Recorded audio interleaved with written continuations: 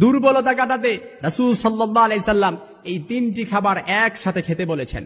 শারীরিক দুর্বলতা এবং দ্রুত স্বাস্থ্যবান হতে আপনি রাসূলের তিব্বে নববী থেকে এই তিনটি খাবারের কথা বলব। এই তিনটি খাবার যদি একসাথে খেতে পারেন, তাহলে শারীরিক দুর্বলতা দূর হবে এবং দ্রুত স্বাস্থ্যবান হয়ে যাবেন। ইবনে মাজার বর্ণনা তিন হাজার তিনশত পঁচিশ নম্বর হাদিস, রসুল সাল্লাহ আলি সাল্লাম শশা এবং খেজুর, এই দুইটা খাবার প্রথমত একসাথে খেতে বলেছেন। শশা এবং খেজুর।